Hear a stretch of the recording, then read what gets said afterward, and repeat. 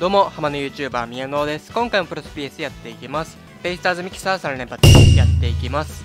はい、まあ、前回の楽天の方でミキサー3連発やったばっかりなんですけど、えーやっていきます。この間のね、楽天のミキサーの時は、そのベイスターズの方はね、あの、津郷選手、ロペス選手とかがね、追加されてないので、まあ、今は引くべきじゃないかなと思って楽天やりますっていう風に言ったんですけど、やっぱりね、東選手、宮崎選手、外選手欲しいんですよね。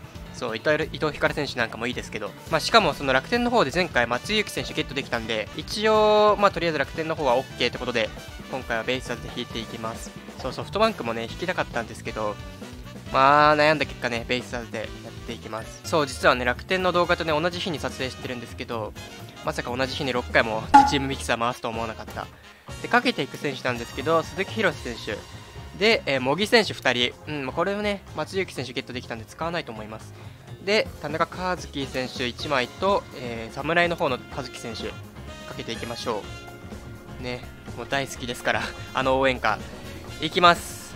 ベイスターズミキサー一発目。狙うは外、東、宮崎。まあ、ここが一番狙いかな。でも梶谷選手とか伊藤光選手とかもね、欲しいんで、まあまあまあ、どれが出てもいいかな。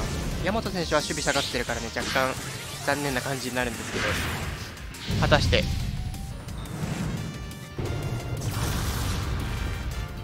おい、なるほど。ってことで、パットン選手ですね。いやー、この間ね、めちゃくちゃ嬉しかったんですけどね、パットン選手、当たった時えーこれは、えー極みで持ってるので、えー称号という感じになりますね、使う場合は。そう。あの今永選手、三上選手、パット選手はすでにね、あのこのシリーズで極みで持ってるんで、まあ、当たった場合は称号で使うような感じになります。では行きましょう、2回目。祖父江選手、公文選手、高梨選手、それから去年のシリーズの岸選手。うんまあ、これはいいかな。で、あとどうしようかな。まあ、田中康介選手もいいかな。この5人でいきましょう。うん。ちょっといい選手なんかも入ってるとは思います。なのでね、ぜひ、宮崎選手なんか当たってくれればなと思います。頼むよ、本当に。本当極みの選手ばっか来られても困るからね。お、演出いい感じ。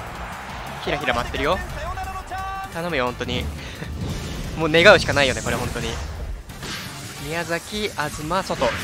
外選手なんか持ったこあの、会ったことないんでね。欲しいところであるが。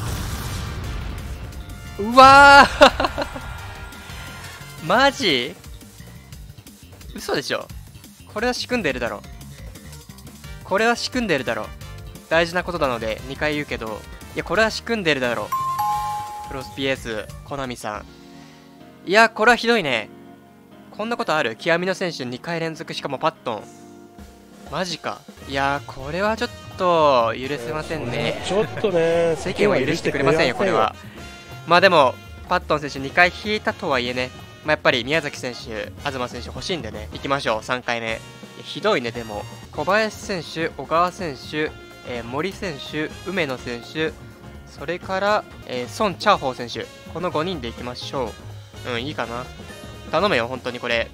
これでパットン出たらもう訴えるレベル。まあ訴えないけど。まあこれでパットン選手出たらコナミを訴えるレベルですね。うん絶対そんなことしないけどね。ちょっと疑っちゃうよねさすがに。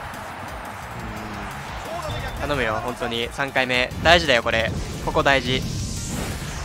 東選手欲しいからね本当。元選手でもいいけど。お願いします。運命の3人目。おーい安明選手。なるほど。なるほど。安明選手はあの侍ジャパンのねスピリッツ3000のもので極みで持ってるんでまあこれは今回継承という形になるんですけどいやちょっとなんかこうあれだね変なところだったねうんまあ、とりあえずちょっと確認していきましょうか。はい、こちらがね、現状当てたベイスターズの選手になるんですけど、いや、まさかね、パットン3回目っていう、えーコスト27、えー適正が中継ぎ S と、9位80の A、請求74の B、スタミナ62の C ということで、9位型です。そう、まあね、9位 A あってね、非常に強い選手で、まあ嬉しいんですけど、3人も同じ選手いらないでしょって話ですけど、まあ、パットン選手が3回、てか2回当たりましたと。うん、まあまあまあまあ、新規で当たればね、それは嬉しい選手ではあるんですけど、極みで持ってる選手ね、2回も3回も当たってほしくないなというのが正直な感想ですね。持ってない人はね、もちろん欲しい選手ではあると思います。はいまあ、パットン選手でしたでパットン選手2回連続からの最後ね安明選手ということでコスト27抑え適正ガイスト9位84の A 請求73の B スタミナ62の C ということで9位型ですそうこちらもね安明選手9位 A のってね強い選手なんですけどまあ今回その侍ジャパンからの継承ということでまあ継承するとスピリッツが100上がるんですよね。そう。まあいいんですけど最近ちょっとあの継承がね小刻みすぎる。うん。あの2900でも安明選手当てて極みにしてで3000でも当てて安明選手極みにしてでまた1ヶ月半後ぐらいにこれ当たってね、えー、継承するってことになるんでなんかこう連続で当たる選手は連続で当たるのに当たんない選手は本当1年くらい当たんないっていうなんかそういう偏りありますよねプロス PS って。そうここに映ってるので言うと宮崎選手なんかはシリーズ1去年のシリーズ1から1回も当たってないんですけど偏ってるなという感じですかねはい。ということで今回はベイスターズミキサー3連発やっていきましたが、結果はパットン、パットン、安明という感じです。まあね、いい選手ではあるのでね、えー、継承とかね、称号とか使っていければなとは思うんですけど、まあ、ちょっと悔しいなという感じですね。うん。なのでね、まあ、これはまたミキサーリベンジしていきたいなと思います。えー、ということで最後までご視聴いただきありがとうございました。それでは次のプロス PS また他の実況でお会いいたしましょう。じゃあね、バイバイ。